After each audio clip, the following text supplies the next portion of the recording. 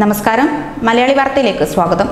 Covid മഹാമാരിയുടെ പശ്ചാത്തലത്തിൽ ചൈനയോട് വിട പറയാൻ ഒരുങ്ങുന്ന വൻ ബിസിനസ് സംരംഭകരെ വരവേൽക്കാൻ ഒരുങ്ങി ഇന്ത്യ. പ്രധാനമന്ത്രിയുടെ ഓഫീസിൽ നീതി ആയോഗ് ആഭ്യന്തര വ്യാപാര വ്യവസായ പ്രോത്സാഹന വകുപ്പ് എന്നിവയെല്ലാം ഈ സംരംഭകർക്കായി ആകർഷകമായ ആനുകൂല്യങ്ങളാണ് ഒരുക്കുന്നത്. ഇന്ത്യയിൽ ഫാക്ടറി സ്ഥാപിക്കുന്നതിനായി ചൂണ്ടിക്കാണിച്ചു കൊടുക്കാൻ കേന്ദ്ര സർക്കാർ തയ്യാറാക്കുന്നത് വിവിധ സംസ്ഥാനങ്ങളിലായി നാല് ലക്ഷത്തി അറുപത്തി ഒന്നായിരത്തി അഞ്ഞൂറ്റി എൺപത്തി ഒൻപത് ഹെക്ടർ വിസ്തീർണം വരുന്ന സ്ഥലങ്ങളാണ്. യൂറോപ്പിലെ ലക്സംബർഗ് രാജ്യത്തിന്റെ ഇരട്ടി വരുന്നത്. ഗുജറാത്ത് മഹാരാഷ്ട്ര തമിഴ്നാട് ആന്ധ്രാപ്രദേശ് തുടങ്ങിയ സംസ്ഥാനങ്ങളിൽ നിലവിലുള്ള ഒരു ലക്ഷത്തി പതിനയ്യായിരത്തി ഒരുന്നൂറ്റി മുപ്പത്തി ഒന്ന് ഹെക്ടർ വ്യാവസായിക ഭൂമിക്ക് പുറമെ മറ്റു ചില സംസ്ഥാനങ്ങളിലും വൻ വ്യവസായ സംരംഭകരെ ആകർഷിക്കാൻ സ്ഥലം കണ്ടെത്തിയിട്ടുണ്ട്. ഇന്ത്യയിൽ നിക്ഷേപം നടത്താൻ ആഗ്രഹിക്കുന്ന കമ്പനികളുടെ ഏറ്റവും വലിയ പ്രതിബന്ധം ഭൂമിയാണെന്ന പരാതിയാണ് പൊതുവെ നിലനിന്നിരുന്നത്. ഇത്തരം പരാതികൾ മാറ്റുകയാണ് സർക്കാരിന്റെ ലക്ഷ്യം. സൗദി അരാംകോ മുതൽ പോസ്കോ വരെയുള്ള കമ്പനികൾ ഇന്ത്യയിലെ സംരംഭകർക്ക് ഭൂമി ലഭിക്കുന്നതിലെ കാലതാമസത്തിൽ നിരാശരാണ്. എന്നാൽ ഇനി ഒരിക്കലും ഇന്ത്യയിൽ സംരംഭകർക്ക് നിരാശരാകേണ്ടി വരില്ല എന്നാണ് കേന്ദ്ര സർക്കാരിന്റെ നിലപാട്. കൊറോണ വൈറസ് പൊട്ടിപ്പുറപ്പെട്ടതിനെ തുടർന്ന് സപ്ലൈ ചെയിനിലുണ്ടായ ബ്രേക്ക് മുതലെടുക്കാൻ തന്നെയാണ് ഇന്ത്യ ശ്രമിക്കുന്നത്. ഒരു ഉത്പാദന അടിത്തറയായി ചൈനയെ ആശ്രയിക്കുന്നത് കുറയ്ക്കാനാണ് നിക്ഷേപകർ ഇപ്പോൾ ശ്രമിക്കുന്നതും. അത് പരമാവധി മുതലാക്കാൻ മോദി ഭരണകൂടം സംസ്ഥാന സർക്കാരുകളുമായി കൈകോർത്ത് പ്രവർത്തിക്കുന്നതിന്റെ ഫലമായാണ് ലക്സംബർഗ് രാജ്യത്തിന്റെ ഇരട്ടി വിസ്തൃതി വരുന്ന സ്ഥലങ്ങൾ കാണിച്ചു കൊടുക്കാൻ കഴിയുന്നതെന്ന് ഉന്നത വൃത്തങ്ങൾ ചൂണ്ടിക്കാട്ടുന്നു.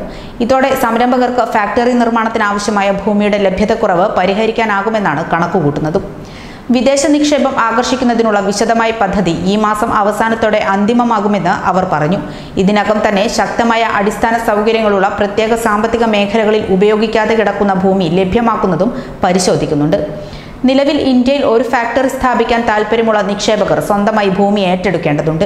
ചെറിയ പ്ലോട്ട് ഉടമകളുമായി വിലപേശി ഭൂമി ഏറ്റെടുക്കേണ്ടി വരുന്നത് പദ്ധതികൾ അനിശ്ചിതമായി വൈകുന്നതിനും കാരണമാകാറുണ്ട്.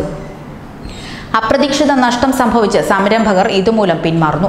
വൈറസ് ബാധിക്കുന്നതിന് മുൻപ് തന്നെ മന്ദഗതിയിലായിരുന്ന സമ്പദ് വ്യവസ്ഥയിലേക്ക് പുതിയ നിക്ഷേപം ആകർഷിക്കാൻ സഹായകമായ സാഹചര്യം വന്നു ചേരുമ്പോൾ നിയമക്കുരുക്കുകൾക്കിടയില്ലാതെ വൈദ്യുതി വെള്ളം റോഡ് സൗകര്യങ്ങളുള്ള ഭൂമി നൽകുന്നത് വലിയ ഗുണമുണ്ടാക്കുമെന്നാണ് സർക്കാർ പ്രതീക്ഷിക്കുന്നത്.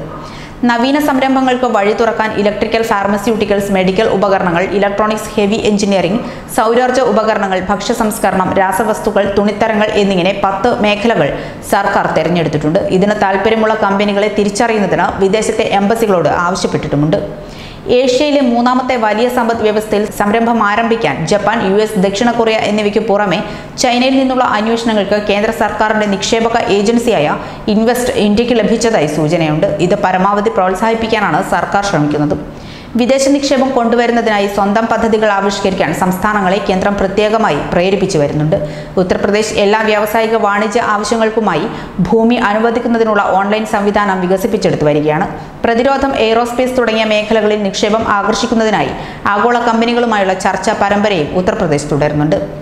ജപ്പാൻ യു എസ് ദക്ഷിണ കൊറിയ എന്നിവിടങ്ങളിൽ നിന്നുള്ള നിരവധി കമ്പനികളുമായി ആന്ധ്രാപ്രദേശ് ബന്ധപ്പെട്ടിരുന്നു. നിയമാധിഷ്ഠിത ക്ലിയറൻസ് ഉള്ള തീരപ്രദേശത്തിന്റെയും റെഡിമെയ്ഡ് ഇൻഡസ്ട്രിയൽ പാർക്കുകളുടെയും ഗുണം സംസ്ഥാനത്തിന് ഉണ്ടെന്ന് റവന്യൂ വകുപ്പിന്റെ പ്രത്യേക ചീഫ് സെക്രട്ടറി രജത് ഭാർഗവ പറഞ്ഞു. ഐ ടി ഭക്ഷ്യ സംസ്കരണം രാസവസ്തുക്കൾ തുടങ്ങിയ ചില മേഖലകളിൽ ആന്ധ്രാപ്രദേശ് ശ്രദ്ധ കേന്ദ്രീകരിക്കുന്നുണ്ട്. നിക്ഷേപകരുമായി വീഡിയോ കോൺഫറൻസുകൾ നടത്തുന്നതായും അദ്ദേഹം വെളിപ്പെടുത്തി. കഴിഞ്ഞ വർഷം പ്രഖ്യാപിച്ച കോർപ്പറേറ്റ് നികുതി ഇളവ് ഉൾപ്പെടെയുള്ള നടപടികളും ഇന്ത്യ നൽകുന്ന വലിയ വിപണിയും രാജ്യത്തെ മത്സരക്ഷമമാക്കി തീർത്തിട്ടുമുണ്ട്. ചൈന വിട്ടുപോരാൻ താൽപ്പര്യമുള്ള മുന്നൂറോളം കമ്പനികളുമായി ചർച്ച നടത്തിക്കഴിഞ്ഞതായാണ് റിപ്പോർട്ടുകൾ. യു എസ് ജപ്പാൻ ദക്ഷിണ കൊറിയ ജർമ്മനി അടക്കമുള്ള രാജ്യങ്ങളിലെ പല പ്രമുഖ കമ്പനികളും ഇപ്പോൾ ചൈന വിട്ടുപോരാൻ ആഗ്രഹിക്കുന്നുണ്ട്. ഇതോടെ ലോകത്തിലെ നിർമ്മാണ ഹബ്ബ് എന്ന പദവി ചൈനയ്ക്ക് നഷ്ടമാകും. അതോടൊപ്പം ഇന്ത്യയുടെ സാധ്യതകൾ വർദ്ധിപ്പിക്കുകയും ചെയ്യാമെന്നാണ് സമ്പദ് വിദഗ്ധരുടെ അഭിപ്രായം. ന്യൂസ് ഡെസ്ക് മലയാളി വാർത്ത.